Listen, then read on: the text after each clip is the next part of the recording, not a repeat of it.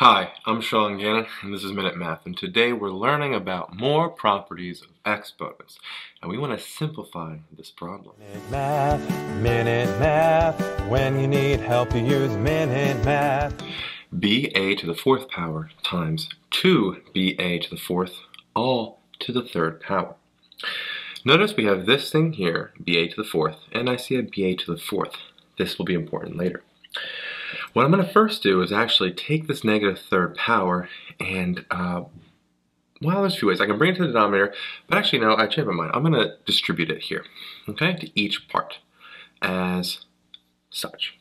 So we have b a to the fourth power here times 2 to the negative third power times b to the negative third power times a to the 4 times negative 3. Remember, we multiply that out, and we have a negative 12. Okay? Now we want to combine our like terms. Well, 2 to the negative third power is by itself, and well, we really can put that in, well, let's put it up front here. 2 to the negative third power. Let's write that first. And then let's go with the b's. We have b to the first power, right? And b to the negative third power multiply them together, we add the exponents, we have b to the negative 2 power. 1 minus 3, negative 2. So we've got this 2 to the negative third we brought over. We've dealt with the b's, now we just have the two a's. We have a to the fourth power times a to the negative 12. Again, we add the exponents.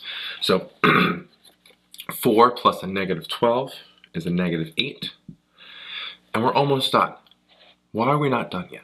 Well, we have to bring everything down to the denominator, right? Can't have any positive exponents. Luckily, this is now very easy to do so. All these values can come down with a positive exponent. Negative in the numerator here makes it a positive in the denominator. So 2 to the third, b squared, and a to the eighth power, all underneath 1. Well, 2 to the third, we know what that is. 2 times 2 is 4, times 2 is 8. So we have 1 over 8 b squared, a to the eighth power, and now we're done. That is our final answer. If this video was helpful for you, please subscribe to our channel and like this video. This helps us make more free math lessons for you. And as always, thanks for watching. Minute Math, Minute Math, when you need help you use Minute Math. Minute Math, Minute Math, when you need help you use Minute Math. MinuteMathTutor.com